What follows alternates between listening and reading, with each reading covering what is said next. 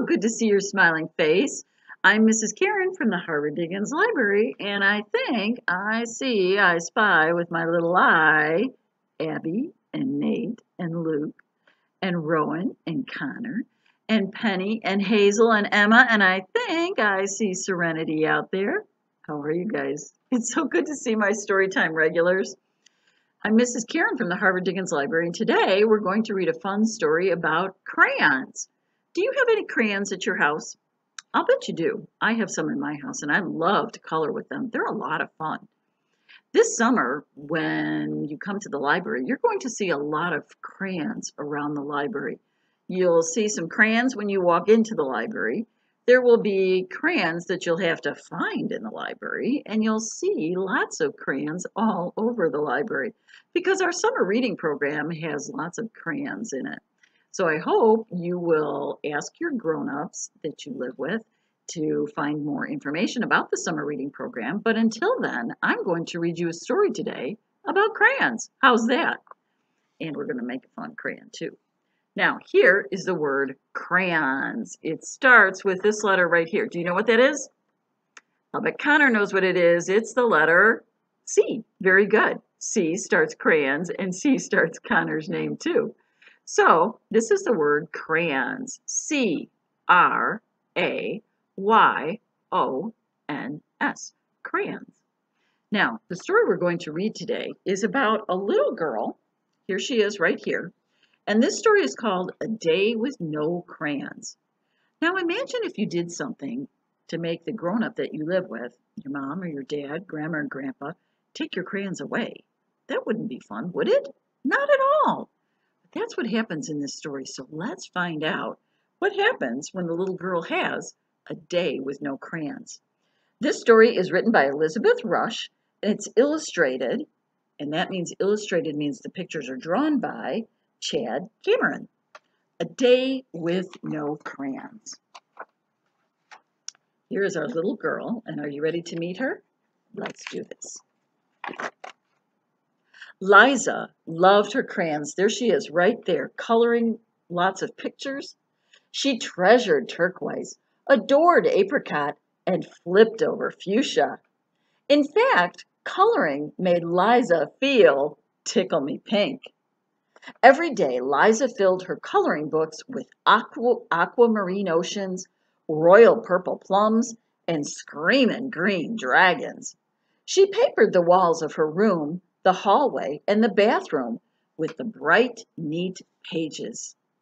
Look at how many pictures she has up on the wall. She's a busy colorer, isn't she? Then one day, Liza ran out of paper. Her coloring books were all full, and there wasn't a single sheet of blank paper left. Liza paced around her room, unsure of what to do, until she discovered, right in front of her, one blank wall. Does that blank wall look like a blank piece of paper? It does. What on earth are you doing? her mother cried. Coloring, said Liza. Coloring your walls, her mother exclaimed. Now, is it a good idea to color your walls? Probably not. You'd have to ask a grown-up for permission before you did that. Most likely they'd say no, but they might surprise you. But in this case, Liza's mom is not happy about what she did, right? Not at all. Liza's mom snatched up Liza's crayon bucket. No more crayons for you today. No crayons, Liza cried. A whole day with no crayons? Look at how gray she looks there. She may really look sad now, doesn't she? She has no color. Liza shuffled to the bathroom feeling blue. Midnight blue, in fact. A day with no crayons, she grumbled. She gripped the toothpaste crossly, squirting a blue-green streak across the sink.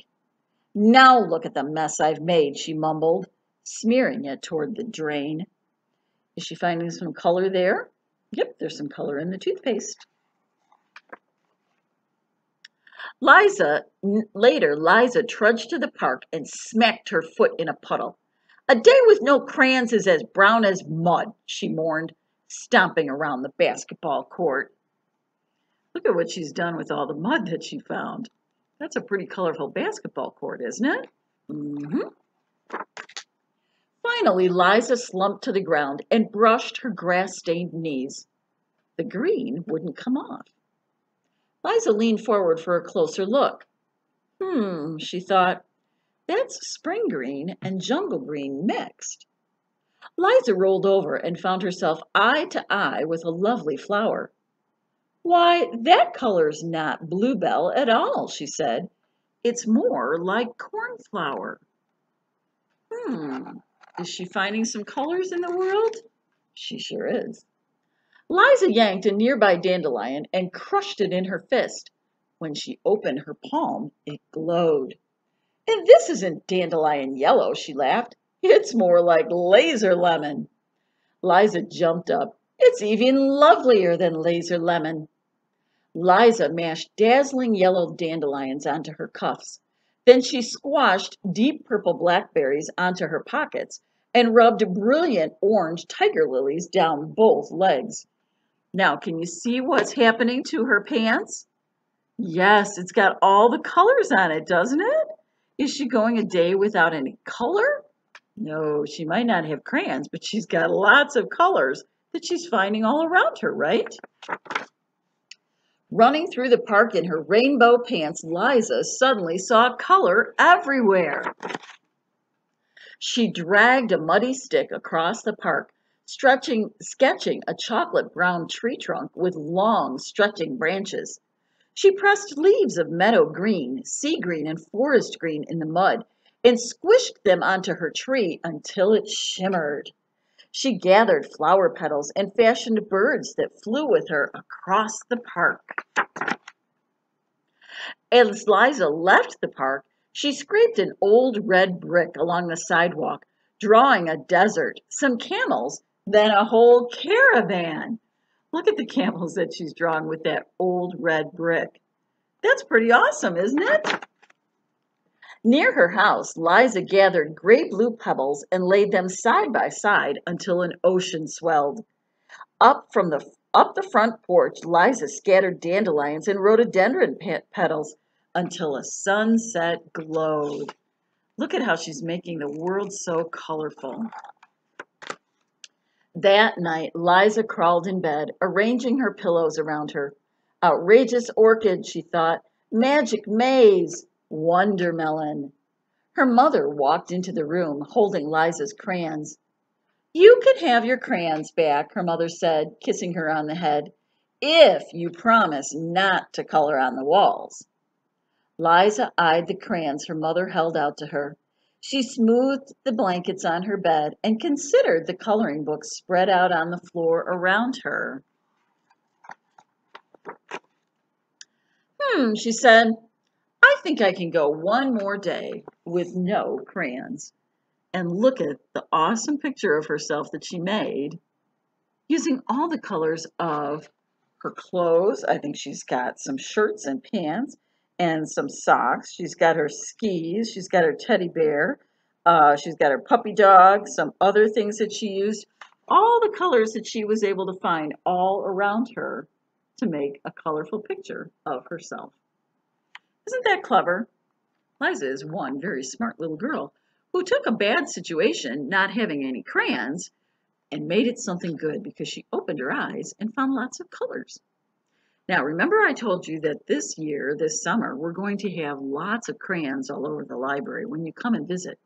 Today, to help you remember that, I am going to show you what we're going to make. We are going to make our own little, ta-da!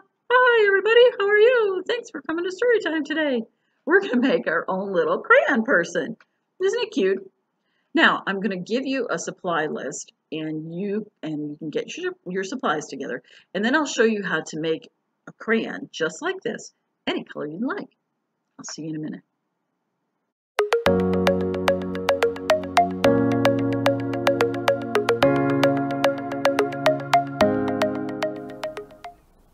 Are you ready to make a crayon? A cute crayon just like this? Let's go ahead and get started, shall we? The first thing you're going to need is your crayon body parts all traced out on a piece of paper. If you have a craft kit from the library, then you'll have all the supplies that you need.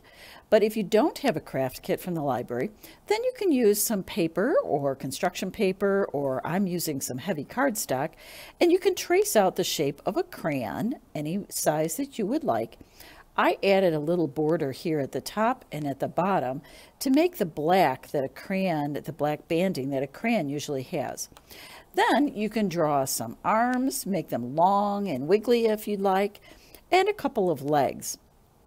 Once you have your shapes all drawn out on your piece of paper, then the next thing you're going to do is you're going to color each piece.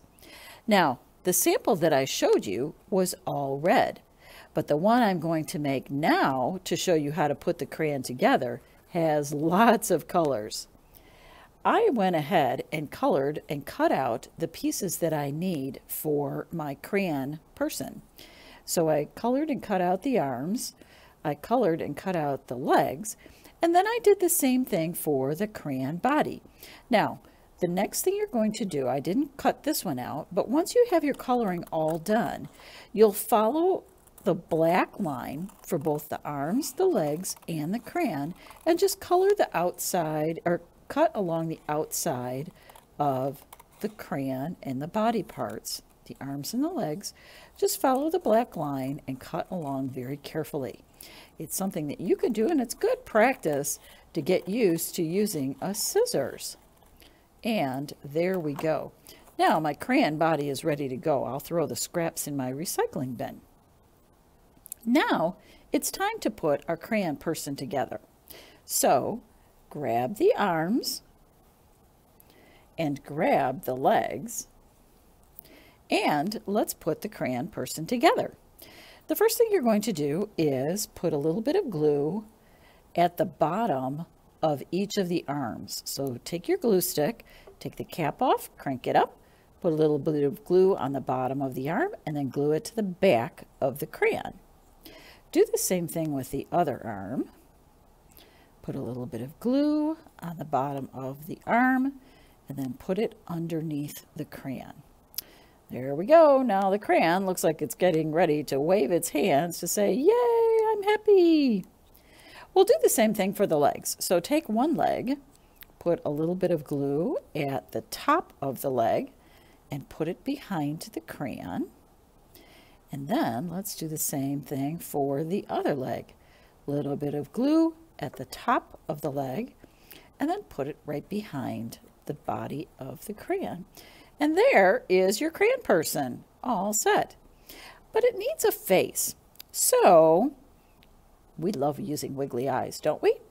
So grab two wiggly eyes and put a little bit of glue at the top of the crayon right where you'd like the wiggly eyes to be. So let's put one wiggly eye right here and another wiggly eye right here. And there we go. Now our crayon has some eyes. But I think it needs a mouth, don't you? So let's take a marker and let's draw a happy, happy smile for our crayon. Look at that. Now he looks like he's happy as can be, just like a crayon should be, right? Especially when they're having fun coloring with you. And there is your crayon person ready to hang someplace special. Here are the crayon people. Hello, everybody. Hi, Storytime friends. I can't wait to see you at the library. Now, this crayon is what color? Red. Very good. And this one is a rainbow color. I wish I could find a crayon that looked just like this, don't you? I hope you had fun making your crayon person. And I hope that you will come and visit the library soon. But I'm glad that you came to Storytime today to share our story, A Day with No Crayons. And I hope you will come to the library, participate in the summer reading program this summer, and look for some crayons when you visit the library. Thanks for joining me today. I look forward to seeing your smiling face at the library. Until then, keep reading lots of good books. I'll see you soon. Bye.